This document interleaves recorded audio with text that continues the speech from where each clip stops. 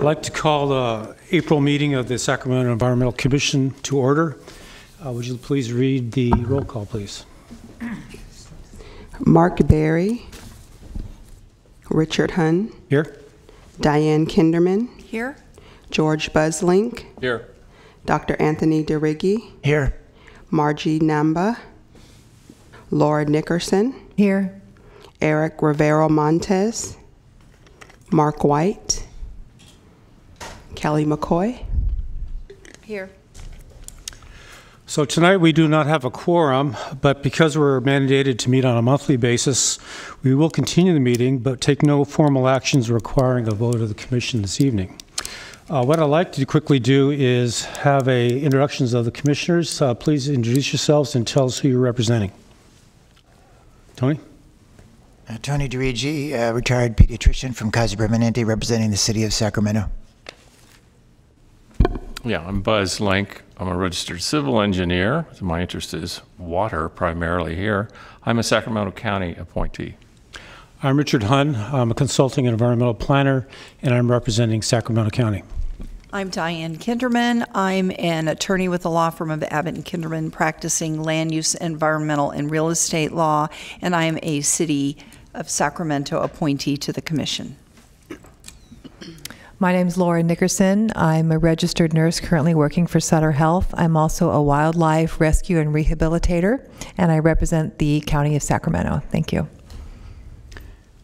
I'm Kelly McCoy, sitting in for Marie Wooden, who is support to the commission. Thank you, Kelly. Uh, This is an opportunity now for receiving any public comment. If anybody would like to address the commission on any matters, they can approach the podium and uh, make the statement. Seeing none, we'll move on to our next agenda item, which is our annual environmental awards presentations. Uh, This award's been going on for close to 10 years now, and uh, it's been very successful, and we're very excited about it every year. Um, Before we initiate the, uh, the award ceremony, we'd like to uh, hear Mr. Jeff Harris, if you'd like to approach the commission and make a statement about the awards commission.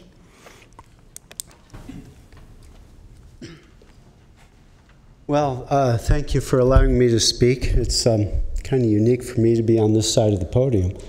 I like it. Um, tonight, you're giving away environmental awards, and one of the awardees is Corey Brown, who happens to be somebody who I've worked with extensively on the Lower American River Parkway Conservancy Program. Corey came into my office. I'm a city council member for District 3 here in Sacramento. Uh, he came into my office about three years ago and said, We need a conservancy.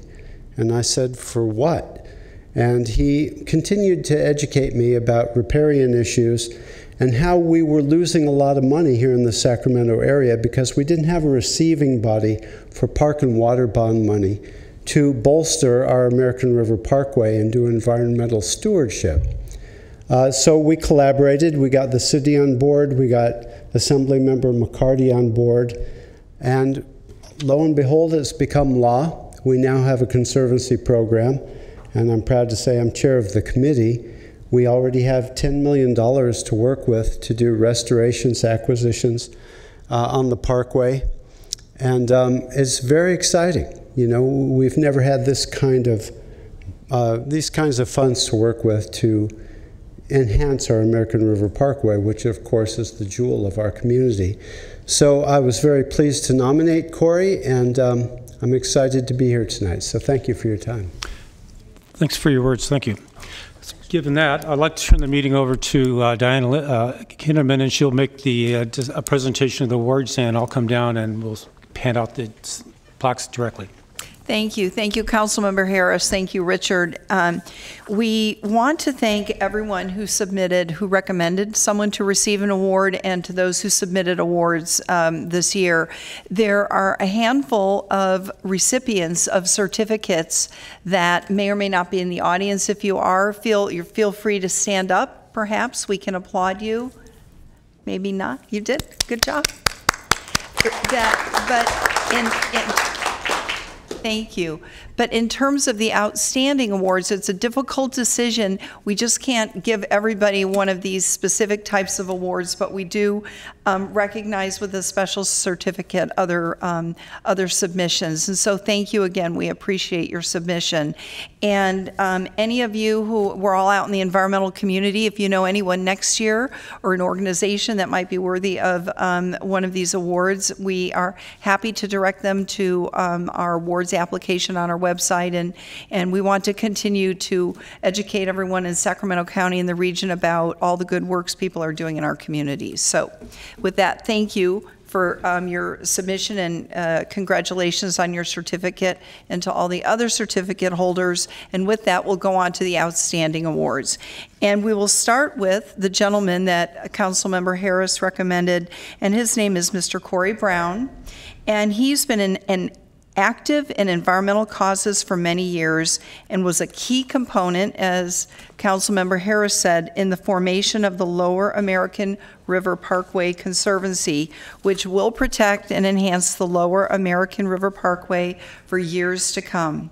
He serves as a strategic policy advisor and program officer with the Resources Legacy Fund, covering a diverse portfolio of issues, including climate change, land use, park protection, urban rivers, and river restoration. Previously, Mr. Brown served as executive director of the Big Sur Land Trust, government affairs director for the Trust for Public Land in the Western region, general counsel for the Planning and Conservation League, legal counsel for Friends of the River, and assembly fellow with the California State Legislature.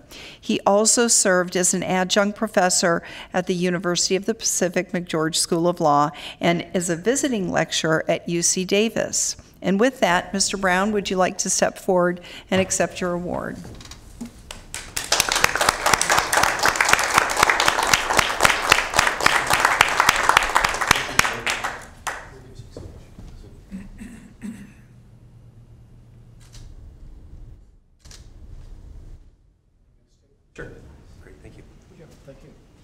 Thank you again for your generous contributions. Would you like to say something? Oh, yes, very briefly. I want to thank the commission very much for this honor. It's a great honor, especially to be a, a resident of Sacramento for so many years. The American River Parkway really is a tremendous jewel. I've worked on Parkway, River Parkway projects around the state, and all the other communities look to Sacramento County and City of Sacramento for what we've done in terms of preserving the Lower American River and making it available to so many children and so many community uh, residents. Uh, receiving five or eight million visitor days per year is, is truly remarkable. And folks that are working on Los Angeles River or the San Joaquin River or many other river parkways really look to this county and the cities here for inspiration. So it's a real pleasure to have worked with Councilman Harris, uh, Assemblyman McCarty, and the county supervisors to help establish the Lower American River Conservancy Program. We believe that $10 million is just the beginning, and it can help us serve that important goal of leaving our children and future generations with an even better parkway than we found ourselves. So thank you again, and again, uh, really treasure this, uh, this honor. Thank you.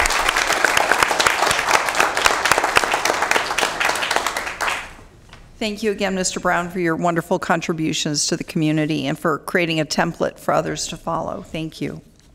All right, so our next award is goes to the Sacramento Audubon Society for its outstanding environmental education programs, including the Environmental Education Program for Sacramento Regional Conservation Corps and their participation in the 2018 Nature Bowl competition. And maybe someone can tell us more about that if they would like to when they come up. The goal of their education program is to enhance Corps members' understanding, appreciation, and respect for the environment in which they work through rotating classroom sessions and field sessions. Corps members help maintain pedestrian pathways at the Bobelaine Sanctuary, and through the educational programs provided by the Audubon Society, they may share their knowledge with others and become better stewards and ambassadors of the environment. The Audubon Society also participated in the 2018 Nature Bowl semifinals competition at Pollock Pines, reaching 118 students from nine schools. The Nature Bowl is a fun, science based event for elementary age students promoting activities which challenge students' knowledge of the environment, habitat, and conservation. Accepting the award on behalf of the- Audubon Society are William Bianco, President of the Sacramento Audubon Society, and Gesna Clark, Education Committee Chairman.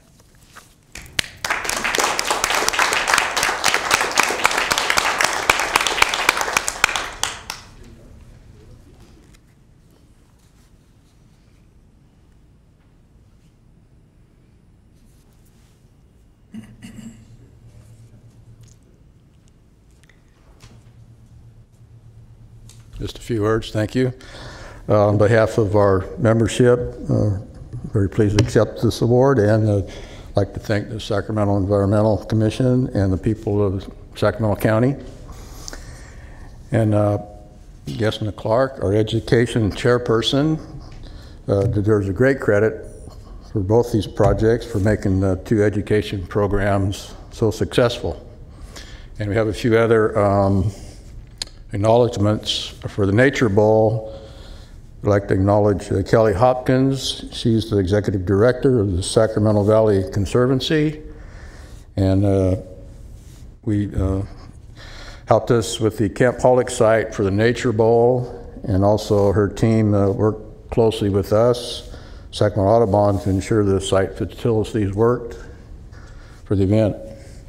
And there's a few other education committee members I'd like to acknowledge, or our planning team members, is uh, Kathy Lazier and uh, Sue Darst.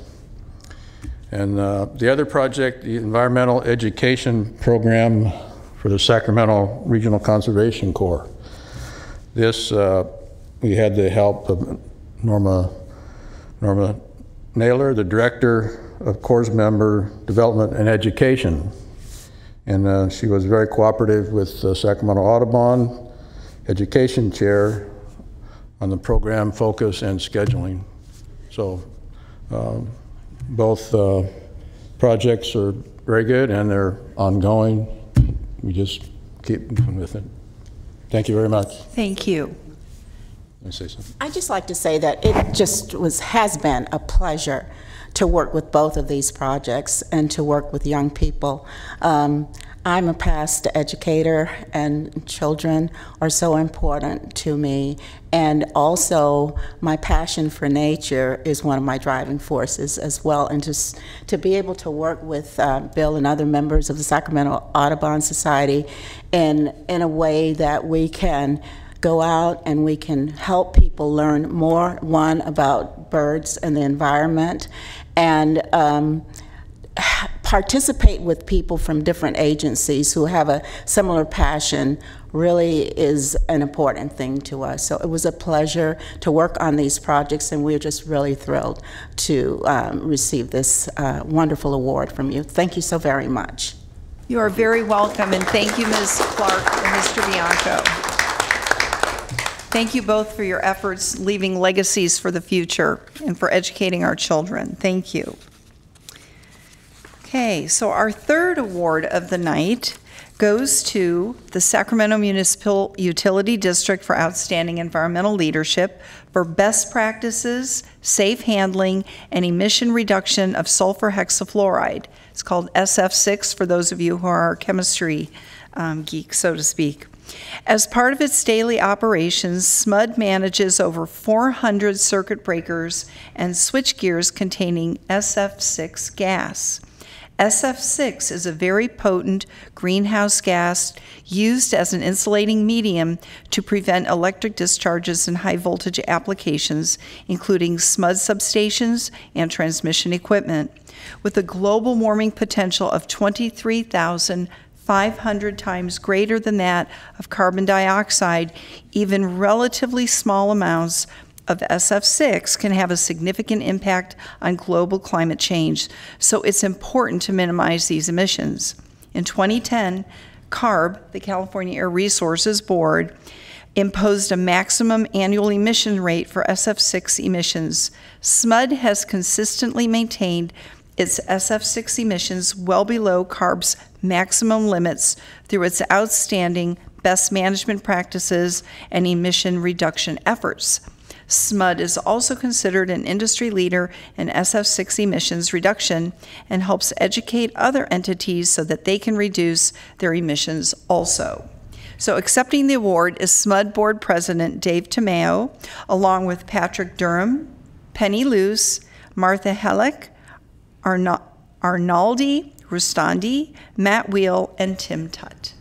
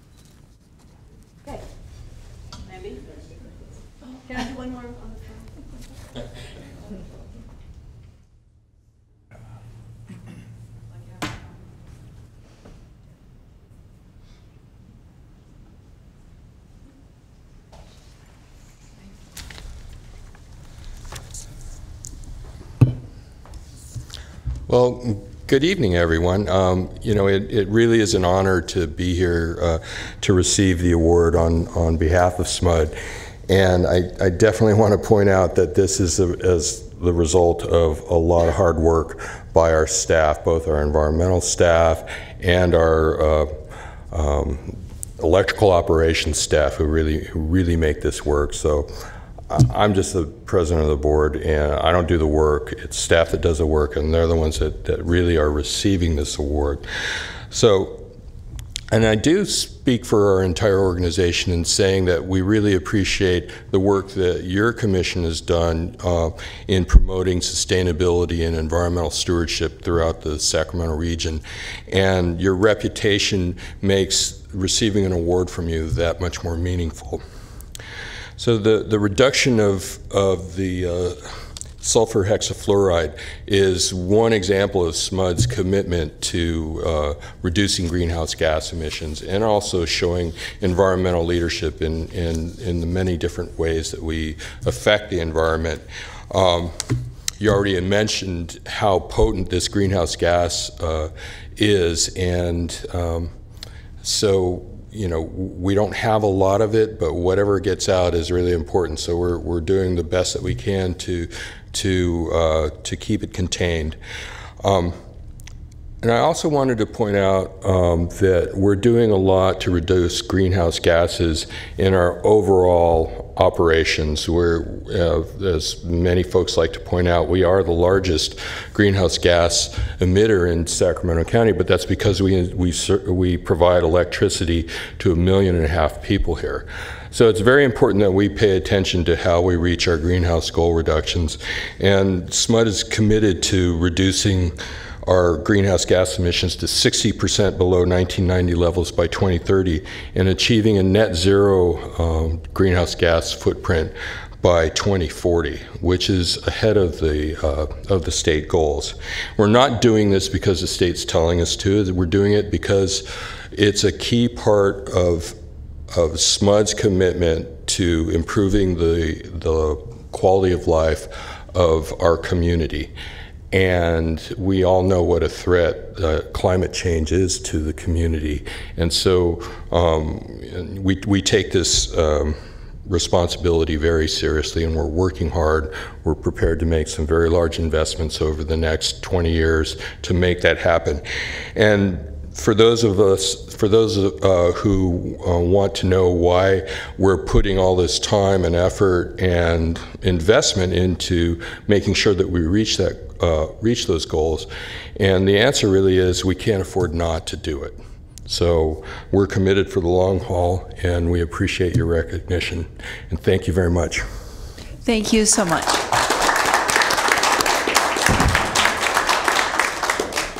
We appreciate your leadership on the board in this direction and staff's uh, vi- vigilance and dedication. Um, SMUD never, um, oh, never um, disappoints us in the environmental arena. Every year you submit some um, uh, wonderful um, uh, example of environmental efforts that you're pursuing at SMUD, and we really appreciate that. Thank you all. All right, so our next and final award of the evening is um, the California State University at Sacramento for outstanding environmental leadership for its newly constructed parking structure number five. This structure was named 2018 Innovative Sustainability Project of the Year from the National Parking Association, and it incorporated many innovations to minimize its environmental impact. Following are just a few of the highlights of the structure. For example, there are many dry wells and bioswales to divert storm water runoff into the ground, tree planting that exceeded the number of trees needed to be removed due, due to ill health and construction. Trees were retained by the university's sustainability group for research and design projects.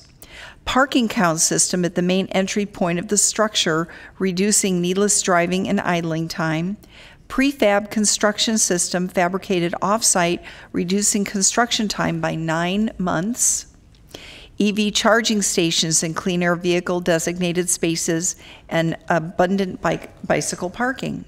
And accepting this award is Tanya Nunez, project manager in the planning, design, and construction at Cal State University Sacramento, and the team, including Vic, Victor Takahashi, director of planning, design, and construction, Tony Lucas, Senior Director of the University's Support Services, Terry Street, General Manager, and Farid Ibrahim, Director of Clark from Clark Pacific, John Weber, President, and Ginger Thompson, Project Designer for Dreyfuss and Blackford. Thank you all.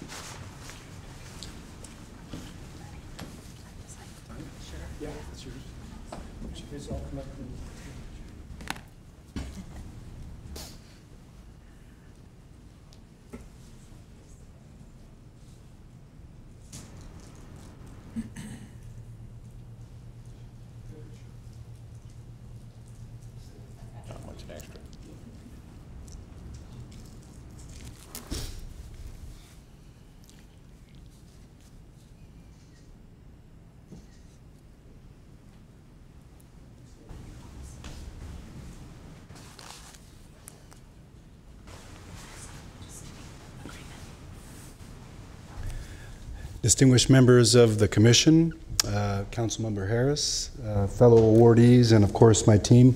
I'm honored to accept this award on behalf of Sacramento State's uh, 31,000 students, quite a few commuters, of course, um, and our uh, 6,000 faculty, staff, students, uh, excuse me, faculty, staff, and community. Um, this parking structure uh, represents Sacramento State's continued commitment towards sustainable construction. Um, I think uh, if you go by and look at the structure, we've done a few things that are a little bit unique in our structure. Uh, the parking guidance system will help reduce idle uh, idling in the structure and gets the student and our staff member directly to that space instead of driving around looking for them. So I think you can all re uh, relate to that. We also integrated um, a number of alternative transportation techniques into the structure. Um, recently, you may have heard about us uh, featuring the Olli autonomous vehicle that is stored in this facility. It also launches from this facility. We have an intra-campus circulator that helps uh, uh, people with uh, mobility limitations get around the campus, and we're really close to our regional transit stop uh, within uh, probably 100 yards of our structure. We've integrated a number of sustainability uh, techniques, such as having low intrusive devices to collect the water uh, so there's no stormwater runoff, and so we continue to preserve this uh, wonderful parkway and the uh, and the birds. and so uh, we're just honored to be here and accept this award for on behalf of Sacramento State. So thank you very much. Very welcome. I also want to say thank you. I'm Ginger with Dreyfuss and Blackford, and um, I wanted to mention what an awesome opportunity it was to be on a project as utilitarian as a parking structure is. but teamed up with the Sac State crew and the Clark Pacific people who collectively we all focused on elevating that structure to something so much more. So the sustainability features are not just superficial, they are all the way from the very beginning of the project. They were put a lot of thought and energy and uh, engineering into making sure it's as thorough from parking stalls counts all the way to being able to see all the way through the structure and having like complete open air. Uh, so just want to say thank you and also thank you to the team. Good. Thank you. And thank you again to the university for continuing to be a sustainability leader in our community. We've received applications for, uh, for awards from you in prior years and have been happy to provide them to you. And thank you to the design team that did such a great job and, as you say, elevated the parking structure. But thank, so thank you once again. Congratulations. Well, that concludes our awards ceremony. So what I'd like to do is get a round of applause for all the awardees who attended here tonight. Thank you.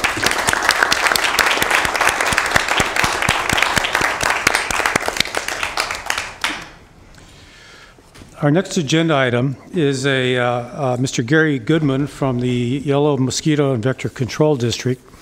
Uh, luckily, we've been able to get Gary to come to us and speak to us on an annual basis, uh, mainly because this time of year is very important for being aware of the hazards and threats associated with mosquitoes and other vectors.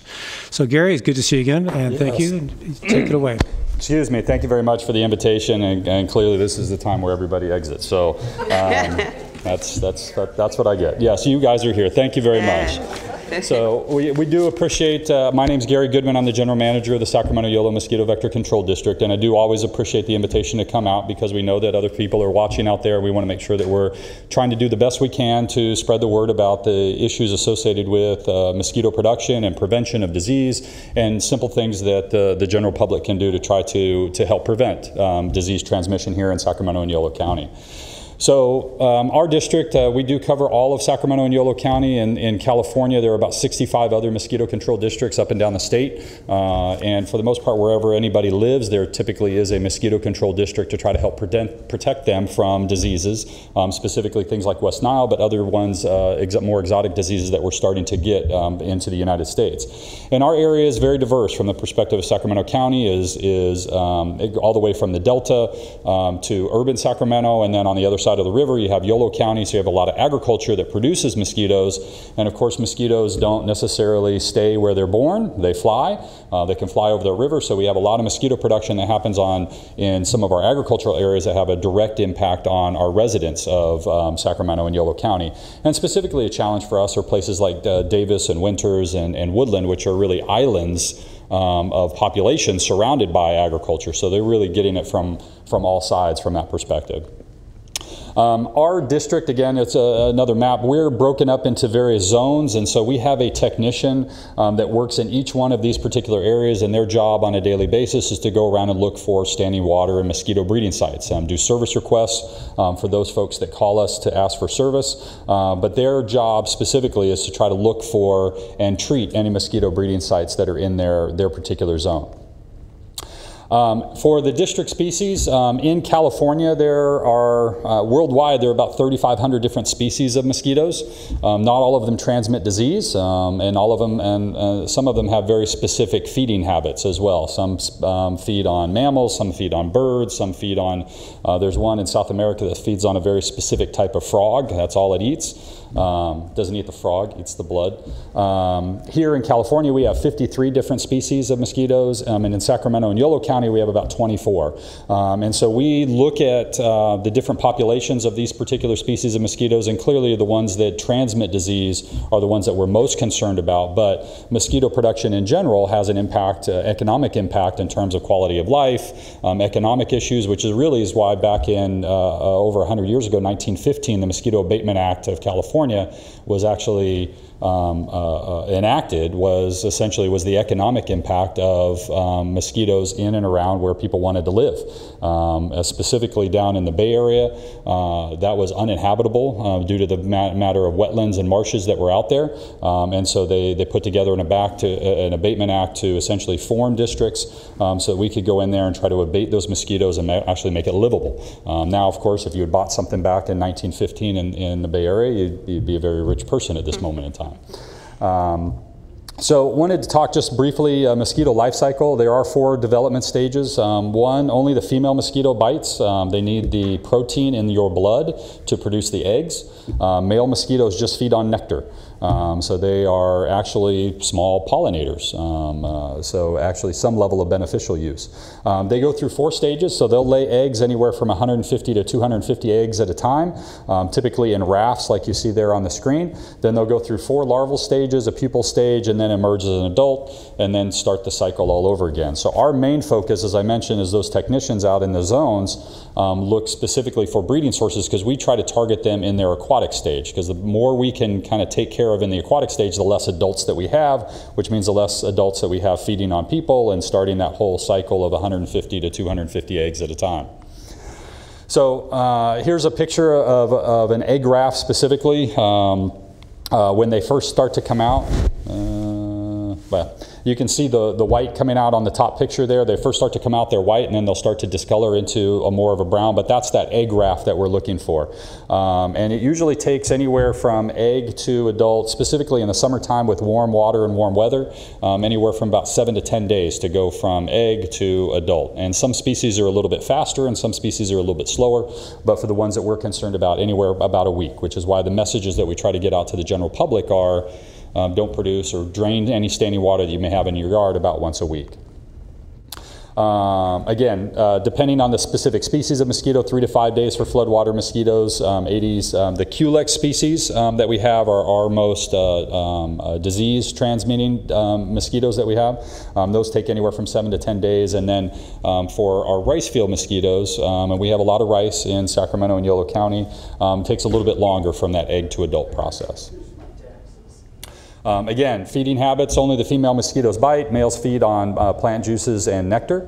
Um, and so what attracts mosquitoes? So essentially what happens there is that as we are talking, uh, we, we are breathing, we're exhaling carbon dioxide. And that essentially is what a mosquito, when they're host seeking, is looking for. They're looking to try to find that carbon dioxide knowing that they can then find the source to be able to find the warm body to be able to take that blood meal. Um, so different factors that lead to mosquito production or, or, mosquito attraction, perspiration, warmth, body odor, all of those things mosquitoes can kind of pick up uh, what those are and be able to find you. I know a lot of folks say, I get, every time I walk in the park, I just get chewed alive, and yet my spouse or my child doesn't get eaten at all.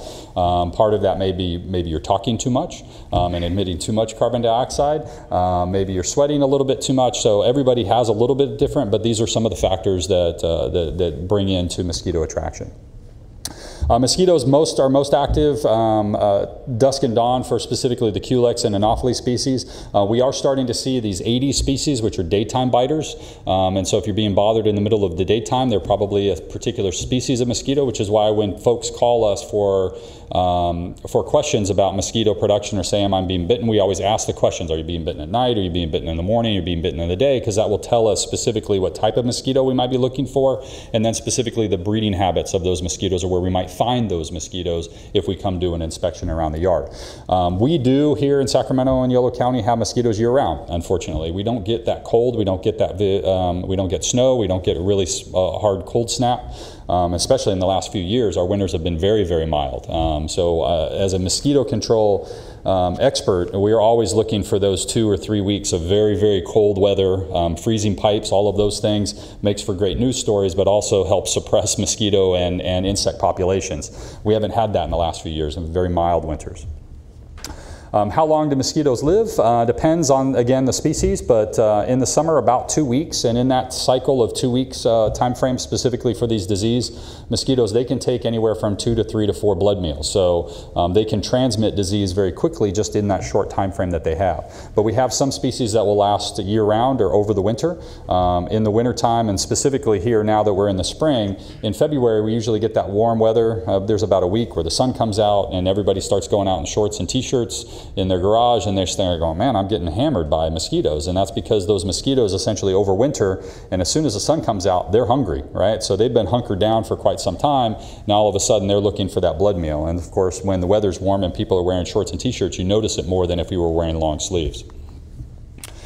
Uh, so how far can mosquitoes fly? So certain species, again, depends on the species that we have. Um, some fly just a few blocks, maybe up to a mile, um, but some can travel miles, um, 10 to 15 miles in an evening.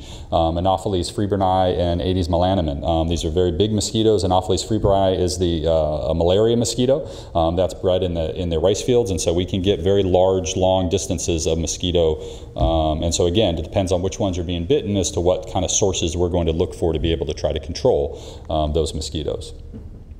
Uh, January to February, this is when uh, you know mosquito season begins for us. It's always year round, but we clearly have more activity in the summer months. Once the weather starts to warm up, we're starting to get that weather now. Of course, this rain isn't really helping um, in terms of mosquito production, but uh, right after this, we're supposed to have 80 degree weather by the weekend, um, and that's going to have an impact on mosquito production. And so we're anticipating a very busy year. But typically, March and April, when the temperatures start to warm, mosquitoes will start to come out, and then clearly from May through October is our, our disease transmission months. So that's the time when the, the virus is going to amplify in, in both the bird population and in the mosquito population, and that's when people are going to be outside, and that's where we're going to have our largest risk of, of transmission.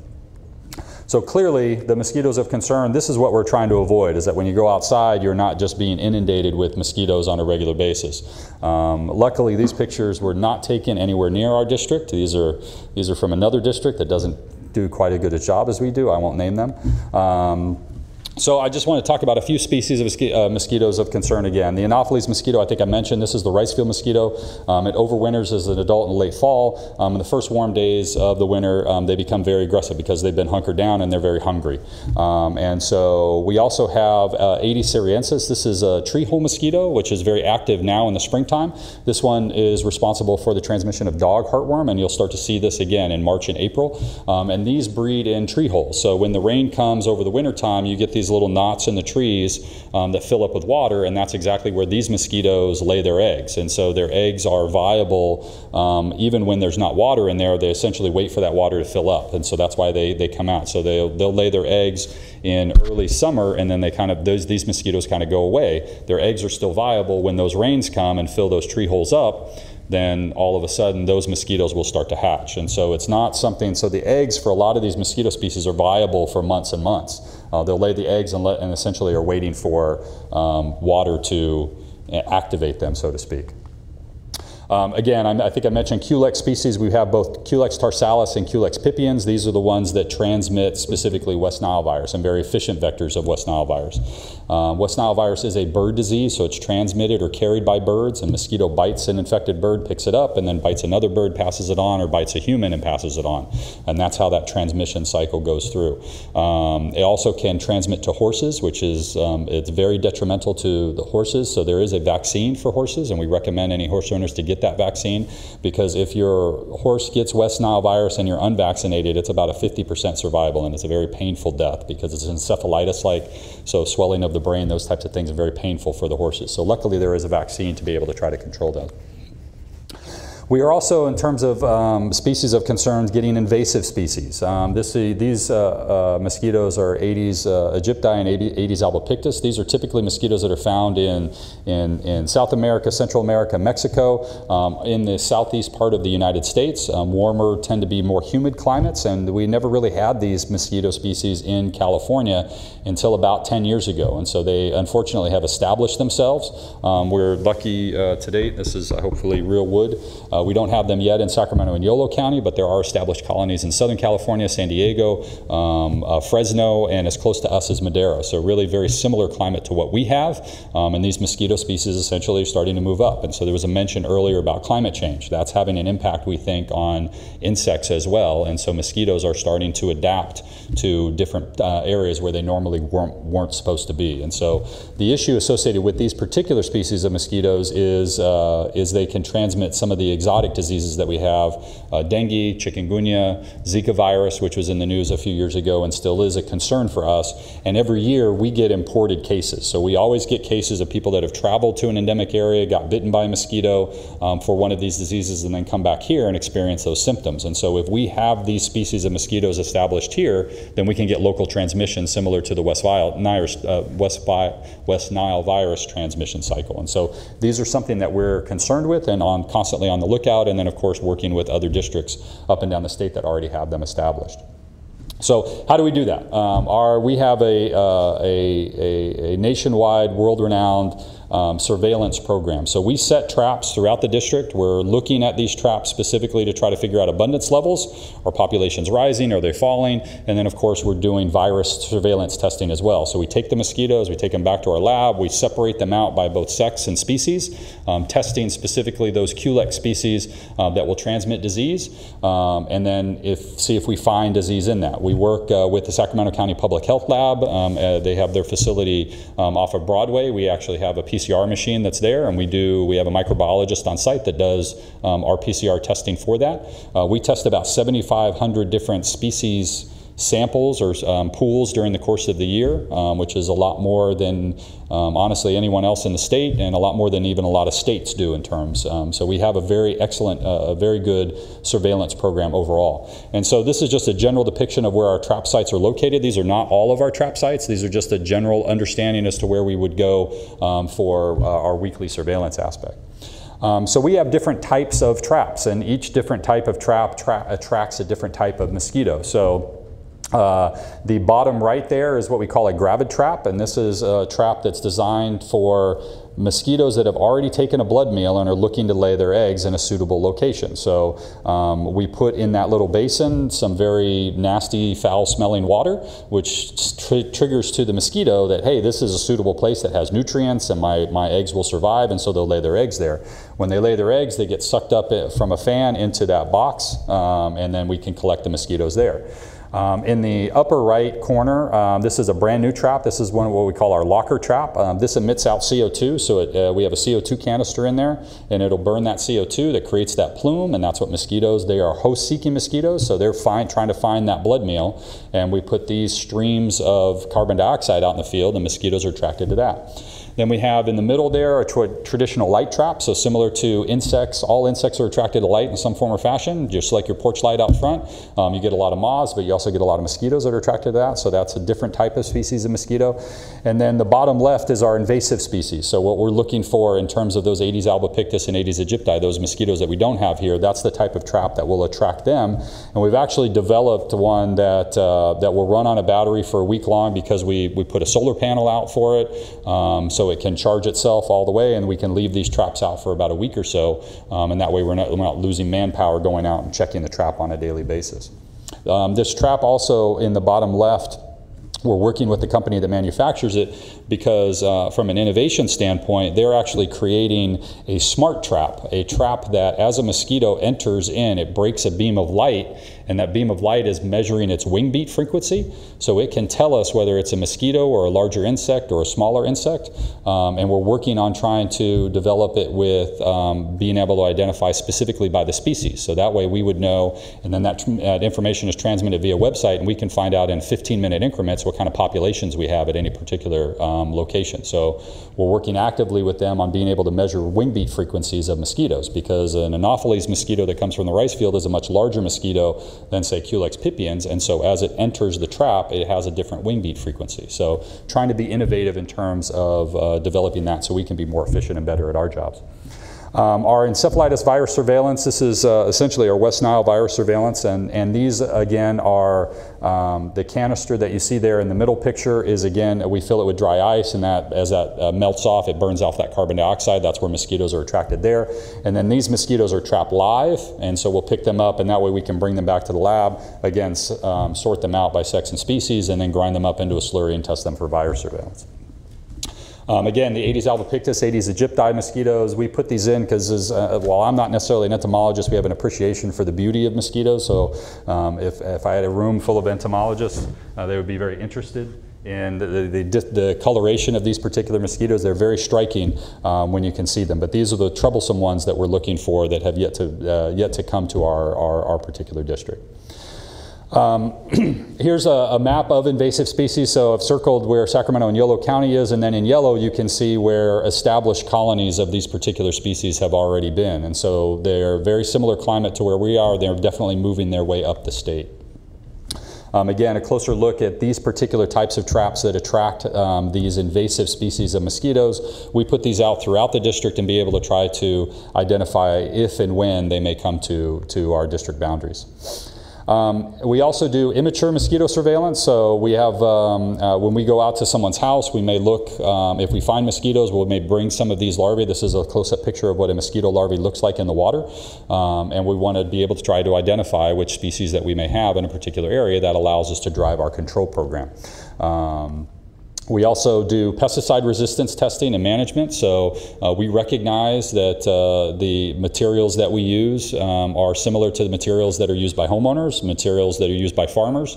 Um, while we uh, are a very, very small percentage of the overall pesticide use, the impact of those pesticides has an impact on our ability to continue to try to control mosquitoes. And so we do active pesticide resistance testing um, and work closely with other agencies throughout the, the state of California to be able to identify that and then rotate the products that we have. Unfortunately, for adult mosquito control, we really only have two products that we can use. So you can only rotate between two uh, so many times.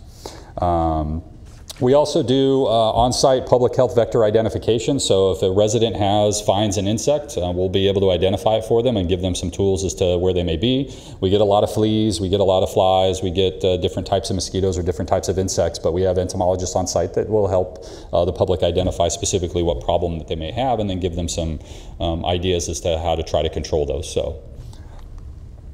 Uh, we also have uh, state-of-the-art insectary. We actually have seven different colonies of mosquitoes that we breed. Um, so we breed mosquitoes at our facility down in Elk Grove. Um, you're more than welcome to come visit. We'll put you in the cage um, and we'll see. It's almost like that money cage, you know, where they blow and all the monies. Eh, we put you in there with all the mosquitoes and see how many bites you get. Um, but we have seven different species of mosquitoes and we use these specifically to try to target our efficacy. So making sure that our products are going to work in various trials that we work with. Uh, we also work very closely with with uh, UC, specifically UC Davis. Um, they're a world-renowned entomology program that's right here in our backyard. Um, we have a number of different projects that are ongoing with them to essentially just try to, to be more efficient and better at what it is that we do. Um, again, I think I mentioned uh, our partnership with the Sacramento County Public Health Lab. We have our PCR machine. It's our own machine, but we use their facility, so it's a nice partnership. Um, I think they had their facility uh, built uh, back with, with some of the 9/11 uh, money that was there to be able to try to um, establish, you know, a, a, site specifically to test for anthrax and other other biologicals, and then we partnered with them to be able to try to utilize one of their rooms. So um, it's been a very good partnership over the last few years. Um, a list of kind of our laboratory programs again, uh, adult mis uh, immature mosquito surveillance, the encephalitis uh, surveillance that we do for testing for diseases, um, the invasive species, malaria and dengue. Uh, we do yellow jacket surveillance as well, so that can be a public health hazard. Um, so if you're being bothered by yellow jackets, you can give us a call. We'll be more than happy to come out and take a look uh, and try to solve that problem for you. Uh, we also do tick and tick disease surveillance, so we test for Lyme disease. We do have Lyme disease within Sacramento and Yolo County. Most of it is centered around the American River Parkway and then up in Cache Creek. Um, and so we will post signs if we do find West, uh, Lyme disease uh, in a particular area. Uh, we don't, it's difficult, very, difficult to do tick control.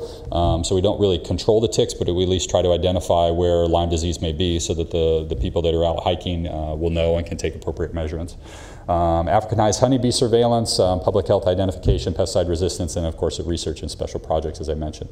Um, again, working very closely with UC, um, other universities, and of course manufacturers and industry as they get with new products. We we're more than happy to try to help test them uh, to make sure that they're going to be efficacious for us. Uh, so I mentioned mosquito-transmitted diseases, malaria, Zika, chikungunya, dog heartworm encephalitis. Uh, there's Western equine encephalitis and St. Louis encephalitis. Uh, St. Louis encephalitis is something that we had in California up until about West Nile came, uh, which was about 15 years ago. Um, and then St. Louis kind of went away for a little while. Well, it's starting to now reemerge. And so we've got some areas down in, in the Coachella Valley and starting to come up in the, into the um, uh, uh, uh, the central part of the state that is uh, having a resurgence or reintroduction of St. Louis encephalitis. Um, and so it's something else that we monitor for and track. We haven't had any cases here in Sacramento and Yolo County um, in quite some time, but it is something that's coming. Um, and then, of course, the next one's yet to be determined. There are a lot of different vector-borne diseases that are out there in the world. Uh, the world is very small, and within you know eight hours, you can be on the other side of the planet, uh, and then you can transmit those things back. Uh, and so that's a, definitely a concern. You know, Zika, chikungunya, these were not diseases that you know that that they well they were known diseases, but they were never anything that we had to deal with here in the United States. And yet, all of a sudden, here they are. Um, and so there are other ones that are out there, um, some very dangerous ones that clearly we'll want to try to keep track of, and that's why we work very closely with uh, with researchers UC um, in the CDC on being able to try to have a good, solid surveillance program, um, so they know what's happening here in California, and specifically our, within our district. Uh, West Nile virus uh, activity in California. Last year, uh, the number of human cases that were reported in California was 218, a sharp decline from what we had um, in previous years. Uh, part of that, we think, was due to a little bit to the drought kind of being over um, and the fact that we had more water, which is a bit counterintuitive because what happened, we ended up having more mosquitoes. Um, but because mosquitoes, or West Nile specifically, is a bird disease, uh, when we had the drought years, the issue was is wherever you did have water, you had the congregation of both birds and mosquitoes in the same place. Now that you are out of a drought, you have more water, so you have more mosquito breeding sites, but now you don't have as much interaction between the host of the of the bird and the mosquitoes per se. And so we actually we saw we've been seeing a reduction in West Nile virus activity, which is a good thing. Something that we're hoping that will continue again this year. Um, However, one thing I do want to try to highlight is that the majority of these cases, 218, over 70% of these are what we call the neuroinvasive form of the disease, a very serious form of the disease that requires hospitalization. Um, and so a lot of cases go underreported um, or, or, just not reported at all. If you exhibit symptoms, uh, you get the flu-like symptom in the middle of summer, you may never go to the doctor, and the doctor may never take a blood test and test for West Nile specifically, and so you may still be suffering from that. Um, so CDC estimates that for every neuroinvasive form of the disease, you have anywhere from 30 to 70 other cases that go underreported. So, um, so really, you're talking about tens of thousands of people that have some symptom associated with West Nile and have, you know, having impacts of that. We want to make sure that we're getting that word out and people are taking the appropriate precautions. So how, what do we ask the general public to do? You know, how can you help? Look for standing water. Specifically, after today's rain is going to fill up quite a number of containers in people's backyards. Uh, we'll be putting out a press release. Uh, luckily, actually next week is Mosquito and West Nile Virus Surveillance Week in California. Uh, so very timely from that perspective, and we'll be doing a number of different activities. Um, uh, we have a, a contest with school children where they design a kind of a calendar page, although nobody uses calendars anymore, so we just put it on the website. Um, but we give prizes to the classroom and to the individual student, um, and so we promote that. We've had uh, um, over 3,000 entries over the last number of years from school children um, in Sacramento and Yolo County. Um, that's been an ongoing program that we've had for about 15 years or so, and so very successful. We went again. We used to produce a calendar, which was kind of neat, but nobody ever does that anymore. So, um, but we do give a prize both to the school and to the student. So we try to encourage the teacher to get their students to to submit entries as well.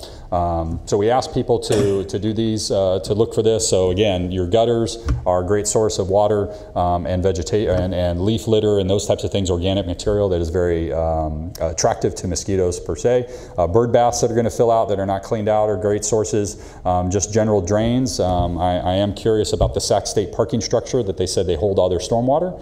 Um, that may be a problem for mosquito production. We'll have to go check that out. But any low area that you see where water is going to stand for about a week or so can produce mosquitoes. So if you see this, give us a call. We'll come out and take care of it. Things like this we probably are already aware of, uh, but other things that are in people's backyards are much more difficult for us to find. Those flower pots and um, uh, canisters and uh, tops lids of garbage cans and old tires um, those types of things are very difficult for us to be able to see in people's backyards. Um, I remember one of our technicians a few years ago went to a backyard. The, the resident said that they were just getting hammered with mosquitoes, and we went into their backyard and they had 47 washing machines. Um, in their backyard that, of course, were all filled with water and breeding mosquitoes, and they wondered why they were getting hammered by mosquitoes well, here you go. Um, uh, so sometimes it's not quite as intuitive. Um, so while we were scratching our heads going, yeah, here's the answer, you know, sometimes people don't know. And that's what our services are here to try to provide, be able to pinpoint those things out. So we were able to treat those and, and really reduce the pain. And then they called back the next week and they were going, I can't, I haven't seen a mosquito in a while. So good, glad to hear that. Um, Again, uh, backyard swimming pools are a big issue for us. We visit about 7,000 pools a year um, that either uh, need attention or not blue pools, and so um, this is a big issue for us as well, uh, making sure that we're getting uh, information out to the residents to, to just let us know. Uh, we don't care whether your pool is blue or green, we just care that it's not producing mosquitoes. So let us go out there and we'll treat it and take care of it. A lot of times we plant mosquito fish in there um, and they'll take care of the problem for the entire summer. So we ask uh, folks uh, what can they do. We have the what we call the seven Ds. Uh, again, drain standing water, uh, dress uh, in long sleeves and long pants if you do have to go outside when mosquitoes are going to be active. That way they can't get through your clothes and bite you. Uh, dawn and dusk are times to avoid being outside. that's when mosquitoes tend to be most active, and specifically the ones that transmit disease um, are going to. Defend yourself with a good repellent. Um, we buy repellent like pouches like this. We hand them out at public events and everything else that we go to. Um, we buy the stuff by the pallet, um, so we want it to be used. So if there's something that you have a need, just give us a call. We'll be more than happy to help you out with that. Uh, doors and windows uh, should be in good working order because, again, you're emitting out carbon dioxide. Um, and so if your doors and screens in the summertime are open and there's a hole in there, those mosquitoes will find it. They're crafty. Uh, and then, of course, the, the seventh D is call the district. Give us a call. This is what we're here for specifically. We want to know if you're having a problem problem, and, uh, and that way we can come out and take care of the, the issue. So again, the, very timely for today after the rain, remember to drain. These are the sources that will fill up with water um, that will produce mosquitoes um, in the next few days, and so please uh, let us know or drain those things out in your own backyard. Um, clearly, catch basins are another issue for us as people overwater and that stuff goes out in the street. Those catch basins, storm drains, um, have a lot of leaf litter as well. They're designed to hold water, and so they will hold that water and produce mosquitoes. We have an active program here with the storm drains. We we check and inspect almost a million storm drains per year, um, treating about uh, about 200 to 250,000 of them on an annual basis. So it's a, a, large effort. You'll see our folks out on bikes, um, walking, all of those types of things. Please don't run them off the road. They're they're doing the, the best job they can. Um, again, dress protectively. The more clothes, uh, less skin that you have, um, the better off you are in terms of being able to not be bitten by mosquitoes. Um, it's a little tough in Sacramento because we get 100 degree days and, and it's warm and you want to wear shorts and a t-shirt. Um, uh, but if you do, um, you know, make sure that you're either putting on that repellent. Again, dawn and dusk are the times to avoid being outdoors. On repellent specifically, uh, DEET is kind of the gold standard. Um, this is all comes from the CDC website, so these are recommendations made by CDC. Um, depends on the percentage that you have. So the higher percentage will last longer, um, but if you don't need a higher percentage, don't don't use a higher percentage. You're only going to be out for an hour or so. A lower percentage of DEET will, will be just fine. Um, the other uh, products that are acceptable for use by um, by CDC: picaridin, oil of lemon eucalyptus, um, IR35, which sounds scarier than it is, uh, but these are all very effective repellents. Um, will work. They just don't last as long as DEET will be. So it's just something where you need to reapply for it, and make sure you always follow directions. Um, things that don't work, uh, garlic, um, dryer sheets, uh, bananas. Um, I mean, I guess if you if, if you if you hit them with a banana, they, they might uh, B1 vitamins. Um, you know, not all of these things. These are all kind of wives' tales. They're they're not proven to to use um, uh, to be very effective in terms of repellencies. Um, again, uh, doors and windows, mosquitoes try to feed at night, um, and if your windows and doors are not in good working order, they'll they'll find you. Um, this is a picture of our facility down in Elk Grove. Uh, we also have an office in Woodland. Uh, and so we have uh, 65 full-time employees that are dedicated towards uh, mosquito uh, control uh, and abatement. and then we also hire about 20 to 25 seasonals right now from April through through September into October because that's when the mosquito season is, is highest upon us. So. Um, as I mentioned, uh, uh, West Nile virus is a bird disease, so if you do see a dead bird, please report it. Um, it's a state program, actually. It's run by California Department of Public Health, um, and the phone number 877-WNV-BIRD. Um, you can also go online, westnile.ca.gov. I actually think they have an app as well um, where you can take a picture of the bird. Uh, we'll be able to identify it. That gets transmitted to us, and then we'll send somebody out there to pick it, uh, pick it up, and then we'll test it to see if it died of West Nile or if it had a tire tracks over it. We'll see if it died of a car. Um, but uh, uh, we can test almost, uh, well, we can test any bird, even a bird that's been dead for quite some time. Um, there are still virus um, that we can detect um, even in a desiccated bird. So um, please, if you see one, give us a, uh, give, give that number a call or go to the website and report that bird. Um, that also helps us determine if we have a particular problem in, in an area, if we're seeing a number of dead bird reports in a particular area. So again, the seven Ds that we want people to follow. Uh, the big one for us, I think, drain standing water, defend yourself with an effective repellent, and call the district um, if you're having any problems. And so we have our phone number, 1-800-429-1022, and our website, fightthebite.net. So that's all I have, again, um, and, unless the, the commission has any questions for me. Thank you, Gary. You always have a very informative presentation, and every year you add something new, so we all get something to learn here at this It, point. that, that, that is good. I, I try to put something new in there, and sometimes it gets a little difficult. I don't want to say the same thing over and over again. So, but uh, but I always appreciate again the invitation. We think it's important. We do a lot of presentations to neighborhood associations and whatever groups that we can. Um, I'm actually getting ready for my city council tour, so I go to all the city councils and give presentations as well because we want the people to know um, what what issues are out there and who they can call. Uh, a lot of people don't necessarily know who we are. We're sometimes a bit anonymous. Okay. Are there any questions from the commissioners? Buzz? Yeah, I do. Thank you, Gary. Uh, uh, Every time this is very enlightening to me, uh, and I've been through four or five or six of of your. Exactly. But I had a question uh, uh, about um, repellent. Um, I- I've recently seen uh, a substance called, and I'm probably mispronouncing this, pymetherin. Pi- uh, Pyrethrin, um, yes, it, um, uh, well, per, well, let me rephrase. Permethrin, permethrin is used a lot of times in the military and in um, the stuff that you'll buy from REI. And it's not only just a repellent, but it's also, it, it's a toxicant. So it will kill um, insects as well. Um, so pyrethrin is a product that we use to kill adult, adult mosquitoes.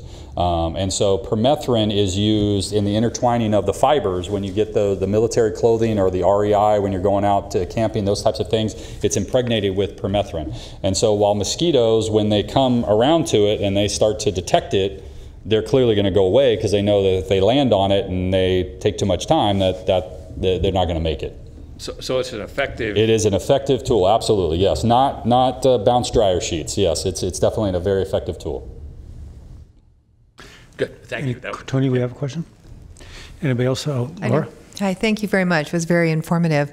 Um, now, with the birds, I, I actually work at the Wildlife Center, and we get a lot of neurocorvids in, like crows and yellow-billed magpies, and and you know they're, they're assuming it's West Nile virus. But I haven't really heard a lot about other birds getting West Nile virus. So, what's your thoughts on that? Um, a lot of other birds still carry it. Um, well, corvids are the most susceptible. Corvids and jays, which of course we have in abundance here, right? And that's why West Nile for us is never going to go away because we have the right mosquitoes that transmit the disease and we have the right hosts in terms of the cor- corvids and jays and magpies um, that, that, that are the host body for it. Um, uh, we have tested other um, uh, birds. Um, we have uh, actually, we part of our surveillance program, we have chicken flocks.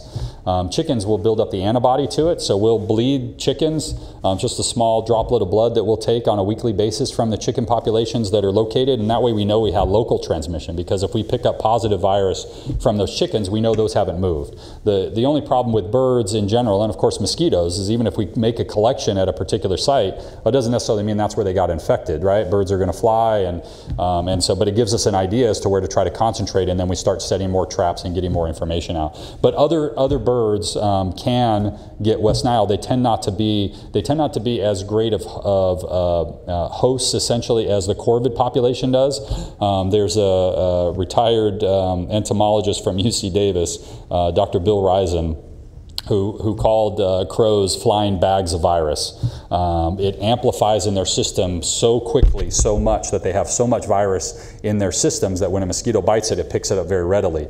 In other bird species, it may still transmit um, and, or, or be in their system, but they may not necessarily be transmittable to the mosquito itself. They may not have enough virus in the I area. see. Um, there was a, few issues uh, a couple years ago, specifically in Utah, with bald eagles, because bald eagles were eating other birds that had West Nile, and so they had high, heightened uh, levels of West Nile virus, and they had some bird, some bald eagle uh, die-offs for that, and they were wondering was that from virus activity, was that from something else? And so they can transmit or they can get those virus, but sometimes they're just not as um, as potent as the. So that's why we see the remarkable symptoms in the corvids. Yeah, yeah. absolutely. Um, I have another question. As far as the yellow jacket eradication, um, I, I've heard a couple different things. Don't knock the nest down, you know, the nests that they put up in the eaves, you know, of the porches, because they'll come back and build it bigger and stronger. Uh, so I've heard that, and then I've also heard just, you know, just spray the, the nest. And so I don't know really what the right answer is for just an average dealing Exclusion is the best. Um, if you can, um, during the day, now you're probably, actually what you're talking about are probably um, uh, paper wasps. Yeah, the, yeah, the little Yep. things Um, that yellow jackets are a little different. Yellow jackets will um, uh, create their nests in the ground. ground. Yeah, okay. I'm talking about Um, the ones. Yeah, The, the other ones that are in your eaves, yes. In the middle of the day is the best time because in the in the day they go out foraging and they'll come back. So uh, the mud daubers and those types of things that you'll see, yes, exclusion, knock them down. That's the important. That's the best thing to do. Um, and then of course, if you're seeing it, they're not going to build it bigger. And if, if if you're not a suitable place for them to build, they'll move on somewhere I else. see. Okay. All right. So that's a old wives' tale. Yes, Another one. yep, yep. Okay. I think that was. Oh, and um, seasonal vernal ponds that are like we have some actually in our property, and the vector people come around that I've seen. So if they've already identified it and we just haven't seen them, my guess is they're they'll come back around. Yep, I don't need to call them. Yeah, yeah. Like I said, the the the uh, slide that I gave that has this, the zone technician, his response, his her responsibility in that area is to go around to each of these sort sites and sources, typically within a two-week process. So um, ni- the nice part with the vernal pools is they tend to dry up, and so then we don't have to worry about them as much. Um, but uh, but there are other sources that that will be year-round, and so yeah. So for the most part, we know about them. Um, Feel free to give us a call. We'll be more than happy. But if, if, if you've seen them out be there before, Or, it's on our list, um, and uh, and we'll go out and, and revisit um, specifically now in the springtime and Great. Yeah. We, we don't have any trouble with mosquitoes. Thank you very much. Great.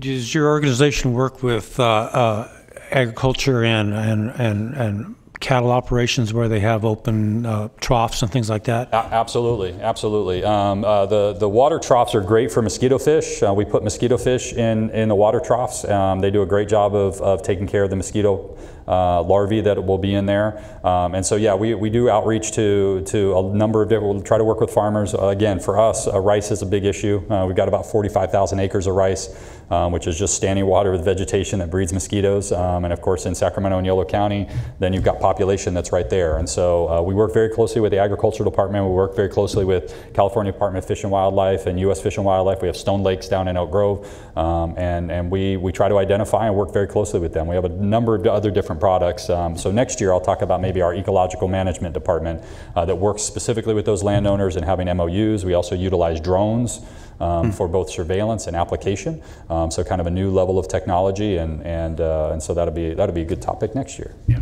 very good. Any other questions from the commission? Thank you very much, Gary. We appreciate your time. Thank you again for the invitation. Have a wonderful day. Nobody ever takes my picture. Everybody Okay, um, our next agenda item is our Environmental Management Department Director's Report. Sure. Good evening, Commissioners. Uh, Marie Woodin asked me to update the commission on the recent um, California Environmental Health Association conference that six of our Environmental Management Department staff attended. Um, There was a real focus on um, recovering from the wildfires and the natural disasters we've had in, obviously, recently in California. Um, Because environmental health departments are so um, involved in the cleanup efforts and the recovery efforts. There were a lot of presentations regarding um, how uh, the counties can support each other, um, how to prevent communicable diseases in um, the disaster centers. Uh, I know there were quite a few norovirus outbreaks. Um, which, you know, when you've lost your home, the last thing you want to have to deal with, of course, is, you know, norovirus um, when you're at the shelter there. Um, so it was really, um, there was a lot of discussion around recovery from the wildfires, which was unfortunate, but it was a very good um, display of how much support the counties provide uh, to other counties during um, these wildfires in particular, but other natural disasters that we have in California. So that's one good thing is that we do the environmental health um, departments throughout the state really support each other. So um, I know we, um, s- Marie's been very supportive of sending um, staff to the Camp Fire and, and different um, different fires and nat- natural disasters. Um, and then also there were some updates on some of the newer laws, which is uh, AB 626, uh, which is the micro enterprise kitchen operations, which um, if that's passed by the county, uh, we'll be, you know, updating the commission on those laws. Um, and then AB 2178, which has to do with charitable feeding. And uh, you'll be getting an update on that law and, uh, you know, what Sacramento County is doing around that. Um, and that, that's pretty much it. Okay, thank you very much, Kelly. Um, This is an opportunity for any final co- comments from commissioners. Does anybody would like to address the commission here? Seeing none, I think then we're ready for an adjournment to our next meeting on May 20th at 6 p.m. Thank you very much.